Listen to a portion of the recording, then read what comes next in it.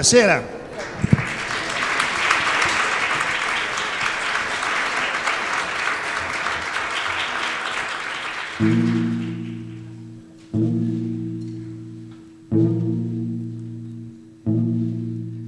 Ma che aspettate a batterci le mani, a mettere le bandiere sul balcone?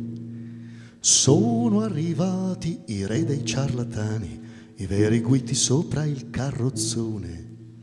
Venite tutti in piazza fra due ore, vi riempirete gli occhi di parole, la gola di sospiri per amore e il cuor farà tremila capriole.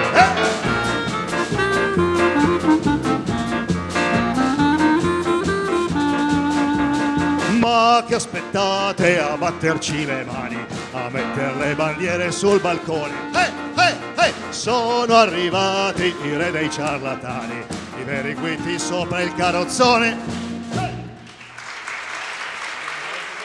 Dario è stato un grande autore di canzoni, eh, moltissime sono sconosciute perché lui le canzoni le ha sempre utilizzate come la musica nei suoi spettacoli, tant'è vero che ne ha depositate un 150, 160, ma ne ha scritte molte, molte di più perché compaiono nei copioni.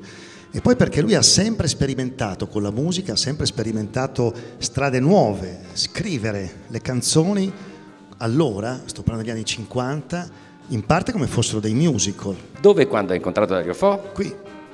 Io ho fatto qui il mio primo provino. Hanno ammazzato il Mario in bicicletta, gli hanno sparato dal tram che va all'ortica, era in salita, ma pedalava in fretta, poi l'han beccato e andava con fatica. L'hanno beccato, preciso sul cervello, ma ha fatto ancora qualche pedalata, poi è crollato, come fa il vitello quando gli danno l'ultima mazzata. Fin da ragazzo. No, comunque adesso eh, il provino poi magari lo raccontiamo anche dopo, ma fondamentalmente il provino l'ho fatto esattamente in questa posizione. Però senza il microfono, perché dovevo farmi sentire là in fondo, e in fondo c'è la Franca Lame Franca Leva che diceva come ti chiami Gian Gilberto, io andavo sempre Gian Gilberto, Gian Gilberto, Gian Gilberto. Questa che cantiamo adesso è la canzone eh, sigla della trasmissione che cantava allora Mina e nel 1962 c'erano 13 milioni di telespettatori e la, e la televisione era in bianco e nero. E Dario Fo e Franca Rame abbandonarono quell'edizione di Canzonissima fu un grandissimo scandalo perché eh, volevano fare eh, uno sketch sulle morti bianche, un incidente sul lavoro in un cantiere e di queste cose in televisione al sabato sera non si poteva parlare. Stringimi forte i polsi dentro le mani tue e ascolta ad occhi chiusi. Questa è la mia canzone. Prego, raccogli l'amore, ti prego, per un sorriso se vuoi te. C'è una canzone che lui stava scrivendo ormai da tempo.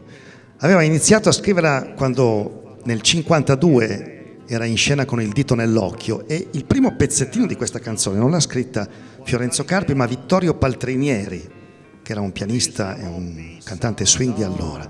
E mi son chi che cammini avanti e tre, me fa maripè, me fa maripellina, lo sanno tutti che sei su con Lino il barbiere, perché c'ha un mucchio di soldi e io sono qui sul marciapiede che cammino avanti e indietro, eccetera. Che preparazione musicale aveva Fo? No, lui un, aveva un orecchio assoluto e poi aveva, aveva questa grande capacità di, de, dello stacco. Eh, queste cose che, che, faceva solo lui. La forza dell'amore, eh, eh, la forza dell'amore, eh, eh la forza dell'amore, eh, la forza dell'amore. To conosces il touch del dom incontro luce te pareve tu nom un uomo incinto de quatermes, con la sotana de stoffa inglese. Eh, se volete capire davvero perché Dario Fo ha vinto il premio Nobel, c'è una canzone che è quella che esatto. chiude la serata di e oggi. Grazie Oliviero Ponte di Pino, grazie Oliviero Ponte di Pino. No, no, il fatto è che noi vilan, vilan, è sempre allegri bisogna stare, che il nostro piangere fa male al re, fa male al ricco e al cardinale, diventano tristi se noi piangiamo, e sempre allegri bisogna stare, che il nostro piangere